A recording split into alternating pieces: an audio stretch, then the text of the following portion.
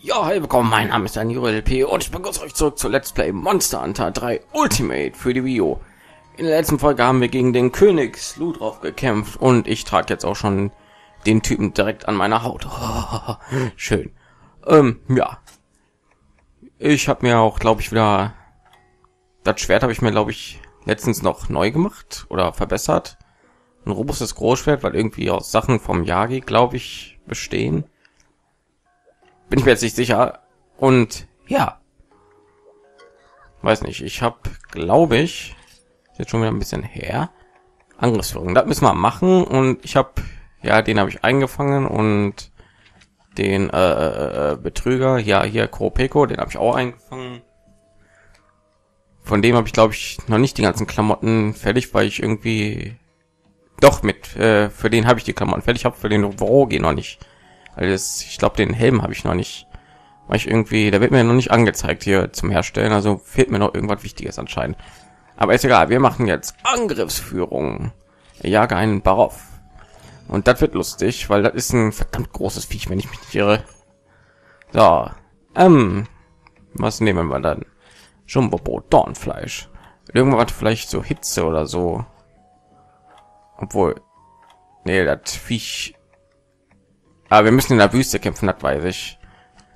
Ich glaube, ich tue mal irgendwie sehr viel HP oder so gucken, falls das geht, aber geht irgendwie nicht, habe ich so das Gefühl. Ich bekomme immer nur 10. So, hier bekomme ich was, gut. Und Verteidigung plus. Polierer verkürzt die Schärfungszeit. Ja, machen wir das. Und mit Geld. Ich habe jetzt wieder genug Geld, weil ich will die ganze Zeit Monster anfangen und so und da kriegst du irgendwie so 3000 4000 immer. Und das ist nicht schlecht. So. Ach ja bevor wir weitermachen möchte ich hier noch mal mit dem reden weil ich glaube wir können wieder eine mission hier abschließen. Äh, hier glaube ich eine zottelmaske können wir herstellen und wir können hier eine insektenbox verbessern dann machen wir mal. Und wenn wir schon dabei sind tun wir mal die neue Maske hier für den äh, Chacha fertig machen. Ja, Chacha. Ja, steht oder Klient Chacha. Chacha Pläne für tolle neue Maske. Vielleicht damit finden Monsterkumpel. Warum nicht? Zottelmaske erhalten. So, und dann können wir den jetzt damit ausrüsten und dann kann der diese Maske tragen. Und weiß ich nicht. Er hat ich neue Fähigkeiten und so. Maske mit großen süßen Ohren. Auf das Signal markieren Träger ein großes Monster auf der Karte. Leider machen die Ohrenträger sensibel und nervös, weshalb sie kaum kämpfen. Schade. Wie sieht er denn jetzt aus? Boah. Warum nicht? Ja, gucken wir mal, wie die Insektenbox aussieht. Ja, das Geschäftliche muss natürlich... Ach, ich kann gar nicht mehr raus. Ja, ich habe eine Mission angenommen. So, dann hoffe ich noch, dass das Schiff irgendwann mal hier kommt on Screen, weil ich habe ein paar Raritäten, die ich eintauschen kann. Also Sachen mit so Sternchen, für die ich gute Sachen eintauschen kann. Da möchte ich gerne ein paar neue Sachen haben. So, Chacha habe ich absichtlich da gelassen, weil den möchte ich mich doch alleine stellen. So, die Rüstung, ich jetzt hier trage, ist glaube ich ein bisschen feuerfest. Und was auch cool ist, ich bräuchte eigentlich gar keinen Kältetrank. Nehmen wir das auch mal mit, weil das Ding ist irgendwie hitzeverträglich so wie ich das mitbekommen habe. Also in der Hitze bekomme ich keinen Schaden, wenn ich das Ding hier trage. Gucken wir mal.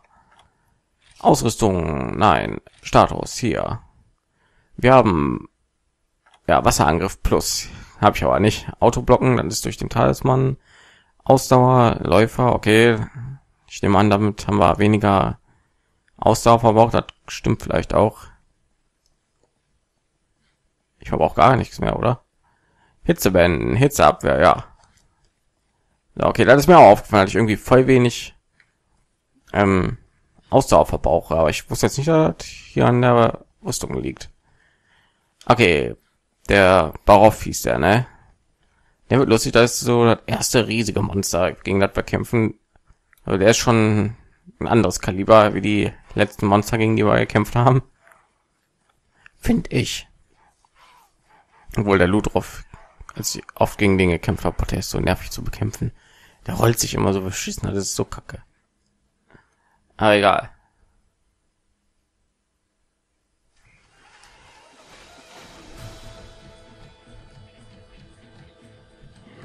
Ist er.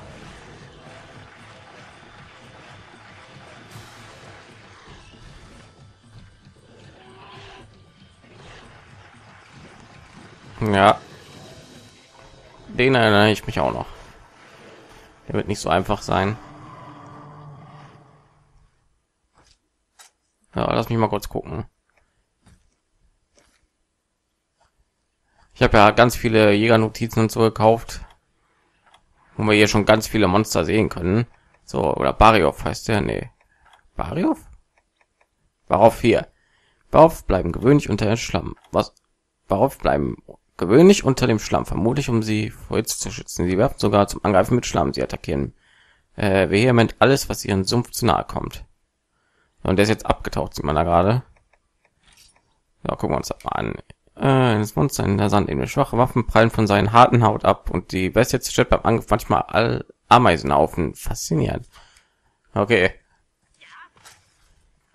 Haben wir nicht. So, Farbball. Ja, wir können jetzt versuchen, den direkt anzugreifen. Versuchen wir mal. Voll aufgeladener Angriff. Autsch! Oh Gott. Ja, und dann diese ganzen fliegenden Viecher natürlich noch. War ja ein grandioser Anfang. So, hier frisst das. Will eigentlich den Farbball werfen. Falscher Knopf. Ah. Sogar mal gute Rüstung und so was alles. Aber schon ein paar Rüstkugeln und so was alles Oh, eingeballert. Bitte macht die Viecher ja. Gut, so, ich glaube, den Schwanz kann man kaputt machen.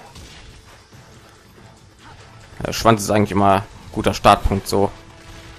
Um Sachen kaputt zu machen. Meine Güte, geht mir jetzt echt auf den Nerven, oder?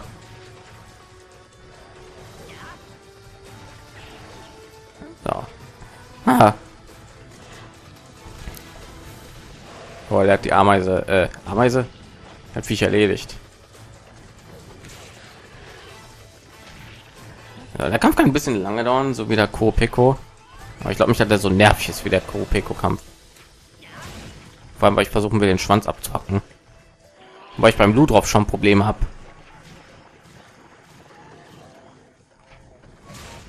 Ich eigentlich eine Lanze oder so ausrüsten können. Die kann so nach oben angreifen, habe ich gemerkt. Okay, da kann ich vergessen anzugreifen. Da geht er wieder in den Schlamm. Und ich bekomme Schaden dadurch. Ich kann ihn da eigentlich angreifen, während er sich im Schlamm wälzt. Weil ich glaube, im Bauch ist er nicht so gepanzert. Wenn man ja sich so Gedanken macht für die Gegner, ne? Machst du normalerweise nicht in Bosskämpfen. Aber es hat Hauptaugenmerk dieses Spiels.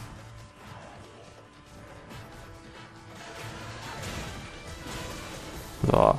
Ich komme irgendwie nicht so an den Schwanz an, deswegen greife ich mal ein anderes an. Beispiel seine Beine. Mir ziemlich sicher, seinen Kopf kann ich bestimmt nicht angreifen. So, wer prallt jetzt schon alles ab.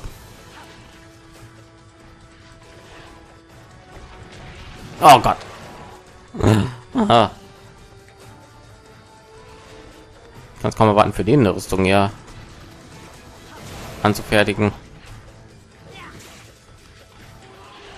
Ich weiß ehrlich gesagt nicht, wann man alles an den kaputt machen kann, diese grauen Sachen und oh Gott, nein, oh Gott, au. Ich glaube, diese grauen Sachen wachsen mal wieder nach. Das ist Schlamm, glaube ich, geerdeter Schlamm, wenn ich mich irre. Oh mein Gott, geht das nicht von alleine weg? So gut. Ah!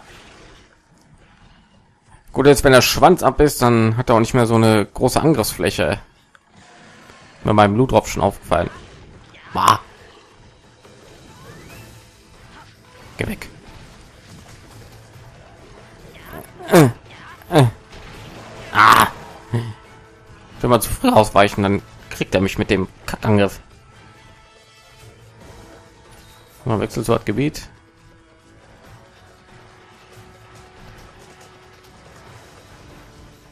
Ja, wie auch immer das möglich ist.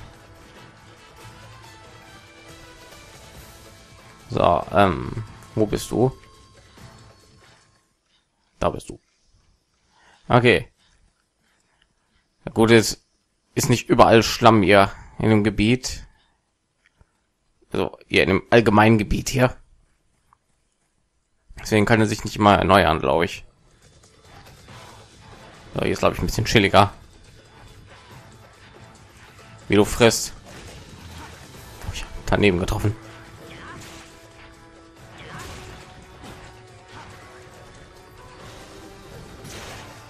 Ah, geht doch mal weg. Ich habe gerade größere Probleme. Ist immer so nervig, wenn sich die ganze Karte auf einen konzentriert, ne? Obwohl eine sehr viel größere Bedrohung rumläuft als der Mensch. Au! Nicht reinkicken, bitte.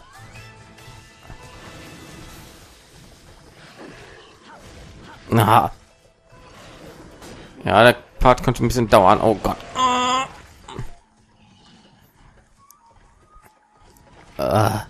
So habe ich zehn normale Tränke und zehn Megatränke dabei. Jetzt mittlerweile Standard. Das Gefühl, ich habe ihm fast noch nie Schaden hier angerichtet. Okay, den sein Bein hat jetzt irgendwie was verloren. Sehr gut. Den habe ich auch noch mitgenommen. Er hat die gleiche Tanzanimation wie ein Yagi oder ein Dings. Jetzt nehmen wir Wogi. So, weiß nicht, sollte ich jetzt mal essen? Nö. Nö, doch. Okay. Ah, doofe Idee. Das muss schon auf meine Tränke hier zurückgreifen. Meine Güte. Das ich wahr.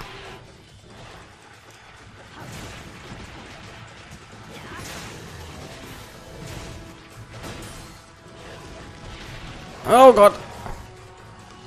Bisher. Nein, nein, nein, nein, nicht damit treffen. Das wäre voll nervig. Vielleicht auch mal schleifen, ne? Ich gehe mal so Dingen hier so sparsam mit meinen ganzen Sachen rum.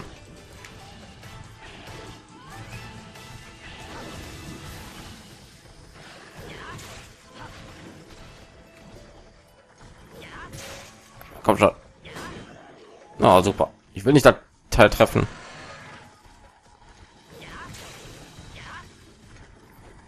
Na, los, kommen. So, jetzt schnell wetzen.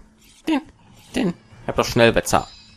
Wow, das ist echt schnell gegangen. Okay. Ist ein guter Treffer gegen deinen Schweif. Verdammt. Hm.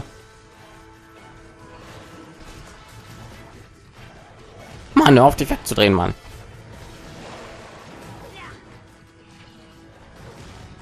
Alter, das kackt halt nicht.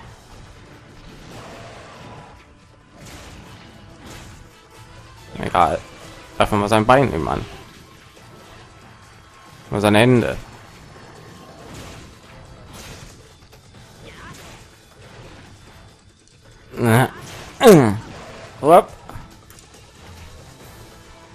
Ich warte, bis er irgendwie am Boden liegt oder so ein bisschen Schwanztreffer.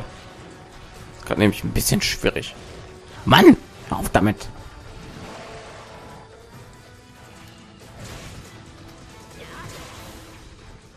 Ich werde mal live machen. Ah.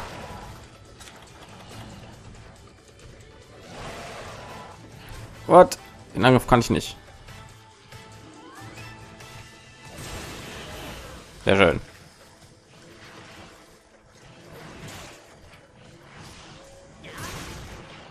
Sehr schön. Sein Panzer da ist ab.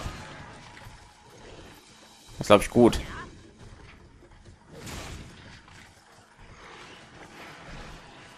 So, du hast irgendwas hinterlassen. Her damit. Eine Träne wahrscheinlich, ne? Ja. So, trinken wir mal kurz. Da ist immer noch kein Schlamm. Gut. Ja, der kann doch nicht. Der ist bestimmt noch nicht erledigt. Kann ich mir irgendwie nicht vorstellen. Die sind ist bestimmt ist eine ganze Ecke zäher als irgendwie alle anderen Viecher, die wir bisher bekämpft haben.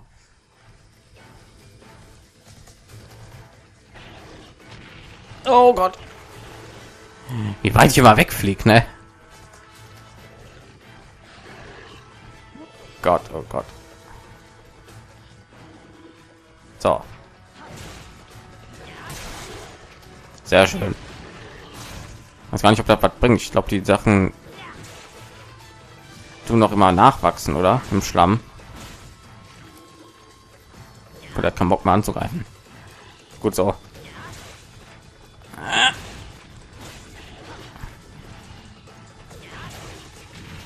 Oh Gott.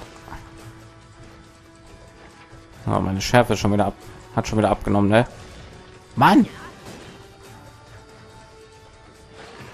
Kannst du mal ein bisschen so in der Mitte gehen? Da ist irgendwie richtig doof zu kämpfen.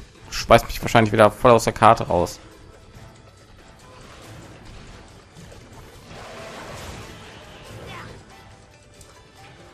Ja, das war nicht gut. Nein. Nein, was machst du da? Ah Gott.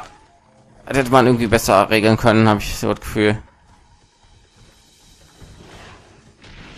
Ja, nicht ins andere Gebiet reinschubsen, nicht ins andere Gebiet reinschubsen, bitte. Ich habe dort wieder ab, ne? Verdammt. Okay, dann kann ich aber kurz schärfen. Und eine Ration futtern wäre auch nicht schlecht. Und heilen. Oh, jetzt ist er wieder im Schlammgebiet, glaube ich. Nee, nee, ist er nicht. Äh, Schlammgebiet war doch dieses Grüne, ne? So. Den schnappen wir uns, ey. Bevor der irgendwie pennen geht oder so. Komm her! Jo! Mit dem kommt voll Dampf aus dem Kopf raus. Los, greif an.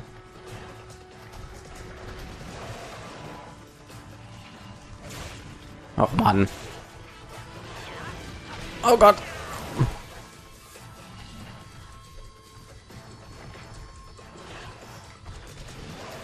Na, komm her.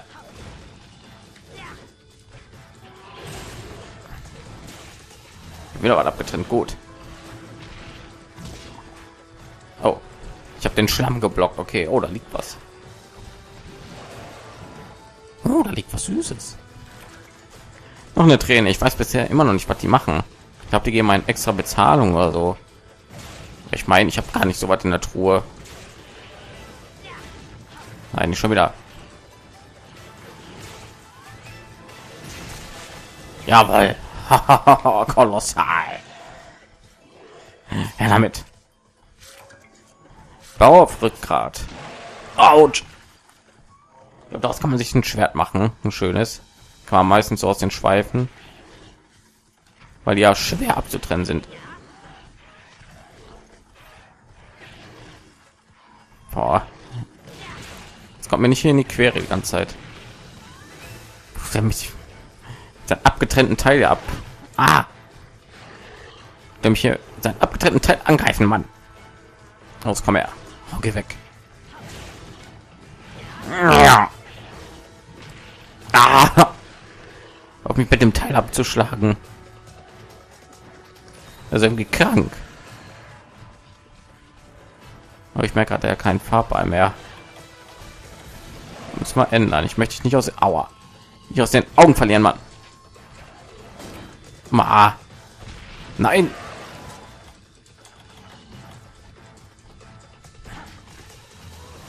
Okay, wenn der nächste Mal das Gebiet wechselt, tue ich wieder ein bisschen schleifen. Was irgendwie jetzt der Fall ist, oder? Ja, renn ruhig weg. Ist auch besser für dich, Mann. So, schleifen. Ah, hey, das habe ich abgetrennt, das Ding hat man sich, warum ich irgendwie Schleifen erhöht habe mit dem Gericht. Ich sowieso hier jedes Mal außerhalb des Kampfs Schleife. Äh, nein, nicht da lang, da lang. Hm. Jetzt aber an, nicht annähernd so nervig wie er. Da seht ihr und ich bekomme keinen Hitzeschaden wegen der Rüstung.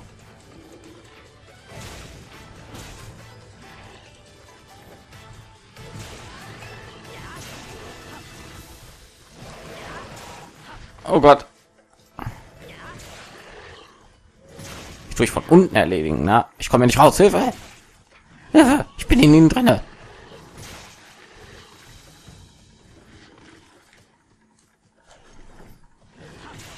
Okay.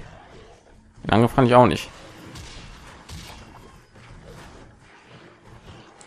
Boah, der ist am Humpeln gut. Weil X und A drückt tut man ja einige spezielle Angriffe anwenden. Habe ich noch nicht mit dem Großschwert ausprobiert. War ich komisch, diesen einen komischen Angriff hier, der irgendwie sehr, weiß ich nicht, unbrauchbar aussah. Komm her, du. Oh Mann. Okay, ich dachte, er kommt wieder angerannt mit seinem Kopf.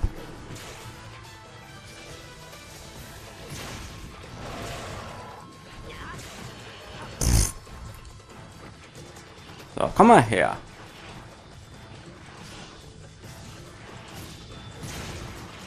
Bam, voll aufgeladen ja.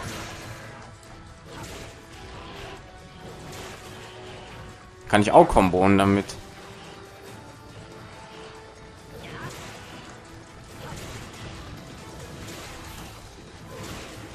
Mhm.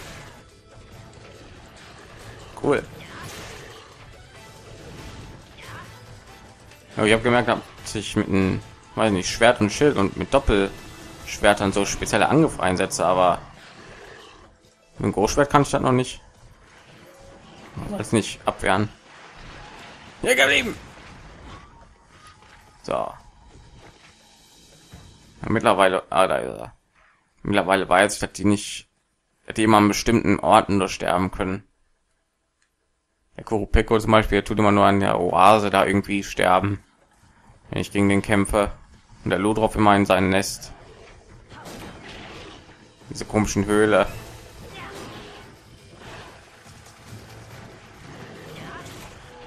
Da seht ihr? Ein Einschlag. Verstehe nicht. Ich muss den unbedingt hier töten. Bauchpanzer, cool. Und 23 Minuten, gut. Auf Skalp. Schön. Ja, ich habe gewonnen. Ihr blöden Kackviecher. Ich hasse sie so sehr. Warum bringe ich das jetzt auf einmal zum Thema? Irgendeiner muss es ja.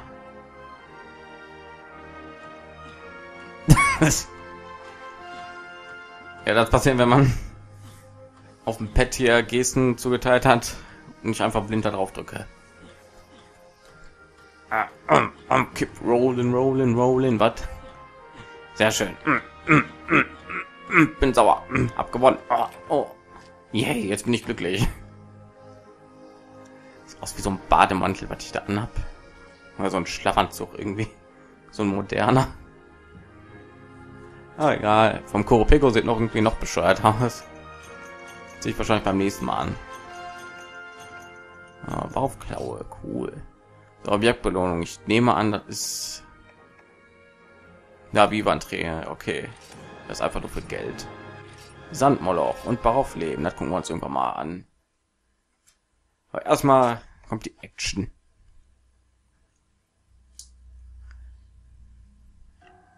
So, schön, ne? Okay, hier wollen wieder eine Menge Leute mit uns sprechen. Das machen wir aber dann, glaube ich, in der nächsten Folge von Let's Play Monster Hunter 3 Ultimate für die Wii U. Ich bedanke mich alle herzlich fürs Zuschauen und sage Tschüss, bis zur nächsten Folge.